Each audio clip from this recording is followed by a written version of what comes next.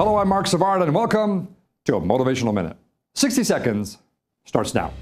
It's easy to get wrapped up in self judgment. Maybe you thought by now you'd be making six figures and have a big house and be married with, with kids. Or maybe you see what people are posting on Facebook and Instagram and you feel like you just don't measure up. Don't fall for that. There is no perfection. We're all just a work in progress, and that's okay. In fact, it's pretty profound. It means that your possibilities are endless. You will never be the perfect friend or the perfect mother or father or wife or husband. But it's not perfection that matters, it's intent. It's being open to change, seeking ways to improve, and enjoying the journey towards your goals. Now try to imagine that suddenly every goal you've ever had was granted to you. Congratulations, you have it all. Now what?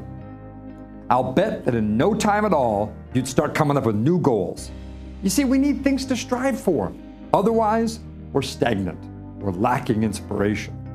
So, next time you get down on yourself that you haven't done everything you think you're supposed to do, step back and remember enjoy the journey.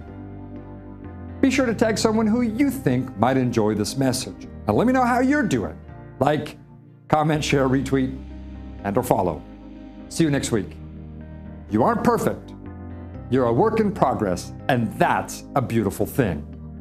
Lock that into your mind.